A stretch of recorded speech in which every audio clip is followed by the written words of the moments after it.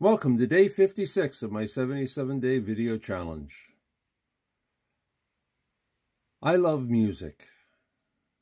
Specifically, I like songs.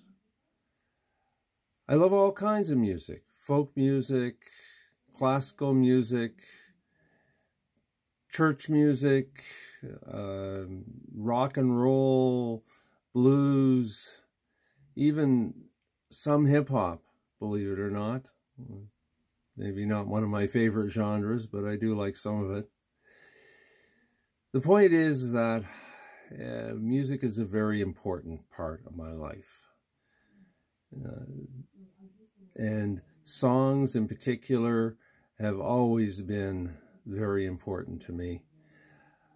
There are two things I listen to when I listen to a song for the first and second time.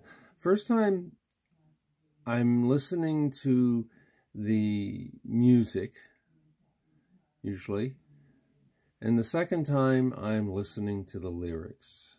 Lyrics are very important to me. They're really poems that that need to be interpreted. Did did. And some of them are just fun and others have a lot of meaning. And I find that songs that echo my feelings are the most restorative.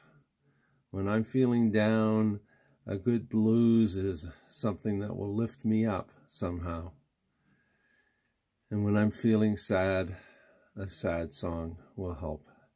I think it's the sense of camaraderie with the musicians. In any case, maybe music is something that you would like to explore.